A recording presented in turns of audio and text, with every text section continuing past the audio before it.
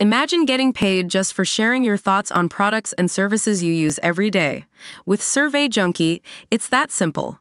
Click on the link in the video description to discover how you can start earning today by taking surveys. Coco Gauff won her first Grand Slam doubles title on Sunday as the American and her playing partner Katerina Siniakova scored a straight sets victory in the French Open final.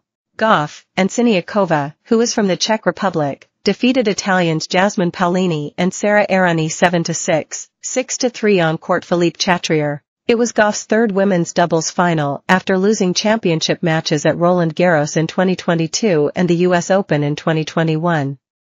It was a familiar situation for Siniakova, who claimed her eighth Grand Slam doubles title, and her third at the French Open.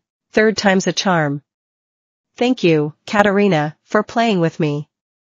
We decided two days before the tournament to play together, Gauff, who is the reigning women's singles champion at the US Open, said. Thank you to the fans. I know November 30th Sunday morning is early for most people. It's early for me. Paolini was also the runner-up in the singles final at Roland Garros to four-time champion Iga Swiatek on Saturday. Swiatek beat Gauff in the singles semifinal. The last two weeks were very nice, very emotional, Paolini said. I have a lot of memories.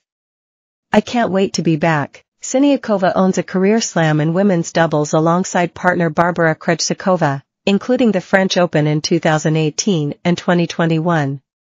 Errani also owns a career slam in doubles alongside her former partner, Roberta Vinci.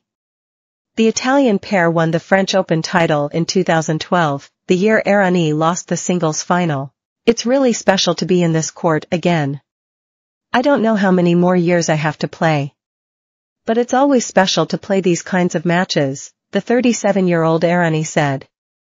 It will be special to play the Olympics here in this place. So I'll see you in one month. Paolini was playing in her first final, in women's doubles. Errani's serve was broken twice in the first set, and Paolini stayed on the baseline to compensate in the 11th game. The tactic worked as Errani held serve.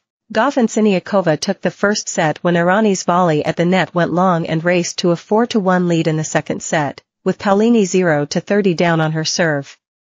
The Italians fought back to 4-3 with a service game to follow, but Errani's serve was broken again and their momentum was lost.